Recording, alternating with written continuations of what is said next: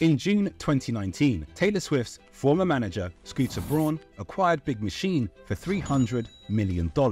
Big Machine was the record label to which Taylor was previously signed. As part of this deal, Scooter acquired the master recorded rights to six of Taylor's previous albums, namely Taylor Swift, Fearless, Speak Now, Red, 1989, and Reputation. This was an infuriating revelation to Taylor, who felt as though she'd been cheated out of an opportunity to own her own master recorded rights. She had previously expressed a desire to own her rights to the Big Machine label boss, Scott Borchetta. But Taylor was offered a deal which would have meant that for every new album she released with the label, she would have been given the right to one older album. So in essence, one new album for one old. This, as you can imagine, was not an attractive offer to Taylor, so she signed elsewhere at Republic, foregoing the ability to own the master recorded rights to her first six albums. Now, for those of you who have followed Taylor's career closely, you would know that something here doesn't stack up. While she purports to not have known about the Scooter Braun deal before it happened, some folks think this is hard to believe.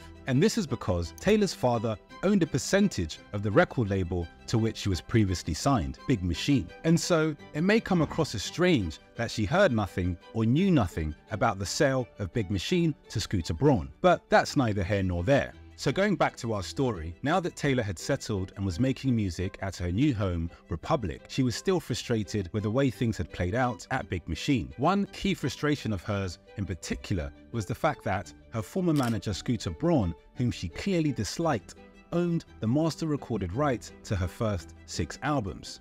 Because of this, she decided to re-record those works, labeling them Taylor's version for ease of identification. This was so fans knew exactly which version she'd like them to support. But then in October 2020, Scooter Braun resold the Big Machine catalogue to Shamrock, the private equity arm of Disney focused on music, media, and entertainment for approximately $400 million.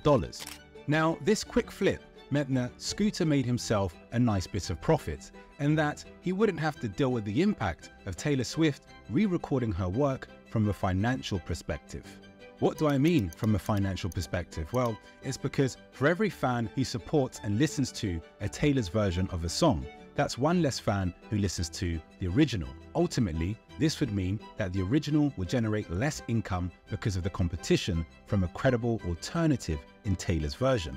So by now, you're probably thinking, thanks for the hyperbole, mate, but what's that got to do with private equity? Well, the Scooter Braun trade illustrates very well something which private equity firms try to do buy low and sell high. In this video, we'll discuss the influx of private equity firms playing in the music space, their motivations, and whether it's been to the detriment of music. So sit tight while we discuss why private equity wants to own music.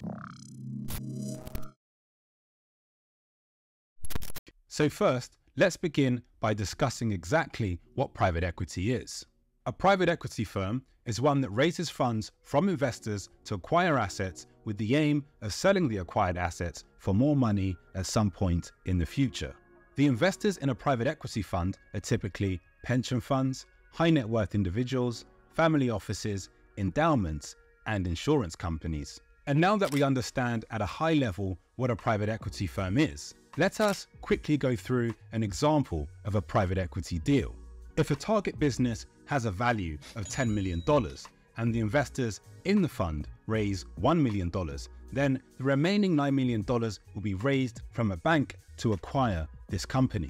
Once the business has been acquired, private equity companies increase the value of a business to shareholders by doing the following. Selling assets in the business, which could be buildings and or machinery owned by the business. Another method employed is cost reduction, which typically involves lowering headcount and or purchasing from cheaper suppliers. And lastly, another method which is perhaps more relevant to music catalog acquisition is revenue enhancement. Now, revenue enhancement can be achieved in a number of ways. Firstly, by increasing prices of the current product range, or secondly, diversifying into new product ranges. After a private equity firm has increased the value of an acquired company, it will typically look to exit by selling the business to another firm for an amount greater than the one which was paid. Now, for the sake of our example, let's say the business that was acquired for 10 million was sold for 20 million dollars. That would mean that the PE firm would earn 20 million minus the 9 million owed to the bank plus interest of let's say 1 million, which leaves the firm with 10 million dollars. That represents a return on investment of 10 times the initial investment of $1 million. This structure is known as a leveraged buyout or an LBO, and it's a structure that's used a lot in music private equity. What's important to note with an LBO is that the acquired business is responsible for the repayment of bank debt, not the private equity firm. As it pertains to music private equity, the underlying cash flow generating asset, the music royalty income, will be used for debt servicing and not money from a private equity firm. But going back to how private equity firms add value to acquired businesses or assets, the first two methods of value creation do not really apply to music royalty acquisition. When you buy music rights, you're not buying a whole business, unless, of course, you're buying a record label, but we'll assume that's not the case. So, assuming you're just buying music rights, in this case, you won't have physical assets or machinery to sell. In addition, you don't have many costs to cut as you're not trimming the fat of a traditional business. After all, the asset in question is a stream or streams of royalty income. Where private equity companies could add value is in the revenue enhancement department. Now, PE firms could increase revenues by exploiting the catalogue further. This could be done by re-releasing older material, releasing previously unreleased material, placing the music in film, commercials and or sporting events, and exercising an audit right. I won't go into great detail about audit rights in this video, but if you'd like to know more, then let me know down in the comments below. In any case, I'll be sure to leave a good article about this topic down in the information section of this video. So now that we understand what private equity is, why is it interested in music? Typically, a private equity firm would be interested in music rights for the following reasons. To receive consistent cash flows for the next 20 to 30 years, or secondly, to flip the asset via a buy low, sell high strategy, as demonstrated by the Scooter Braun trade at the beginning of this video. Now, as music is not correlated to traditional asset classes such as stocks, bonds, and real estate, it's been deemed a good diversifier of an investment portfolio. To add to this, and for context, Goldman Sachs has estimated that the industry will grow by 8.3% by 2030, with the majority of this growth coming from streaming. There is also the argument that music is still undervalued and there exists an opportunity for music to be further exploited. The scope for streaming to reach more people exists, especially in markets such as Africa, Asia, and Latin America. Now, this means that owners of catalogue today could benefit from an uplift in music royalty income without doing much to manually increase its value. So in addition to music royalties being uncorrelated to traditional assets, they could also have passive income characteristics which are attractive to many investors. Now for those in the business of flipping, which is a more speculative one, music could also be of great interest. Today is probably not the best time to sell a catalogue especially as the recent news of Hipgnosis having to write down catalogue has had widespread impact on the rest of the market. But buying now relatively cheaply when considered to the market in 2021 could be a good opportunity assuming you can sell the catalogue for a higher valuation in the future. Add to this equation leverage, which is often used when acquiring music catalogue. This could amplify investment returns.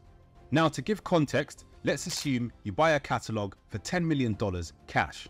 Five years later, you sell this catalogue for $20 million. This represents a return of two times. However, if we assume you can buy a catalogue for $10 million, but using 1 million of your own cash and the remaining 9 million borrowed from a bank, this changes the picture entirely.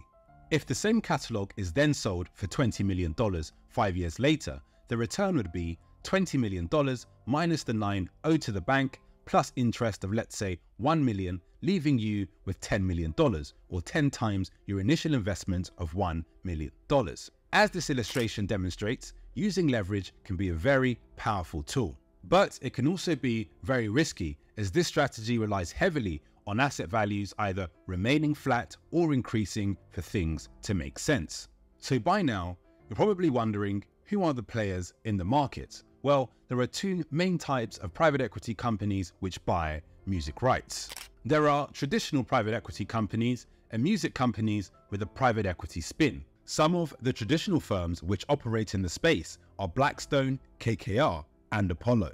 So, the usual suspects. These guys are not in the music business per se, they like the diversification benefits of owning music catalogue, and they'd be open to trading music assets for the right price at any time. Their approach tends to be more passive, as they do not have the personnel internally to fully exploit music rights.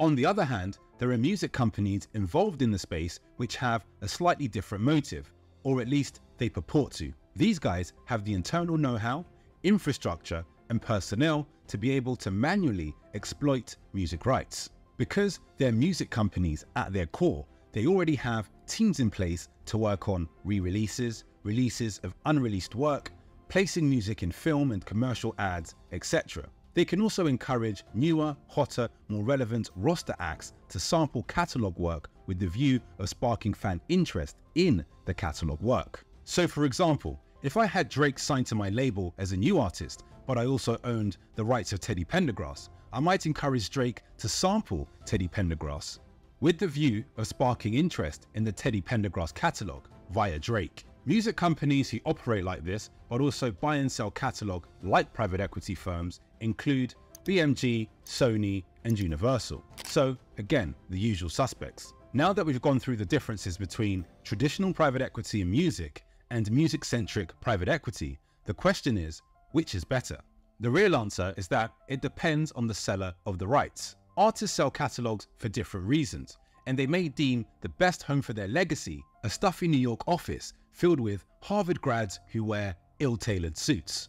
Or they may not care about legacy at all and just want to sell their catalogue to the highest bidder to give their kids and or former spouse some cash. Having said that, let me know what you guys think about private equity firms buying up music rights down in the comments below. Whilst there, please like this video and subscribe to the channel.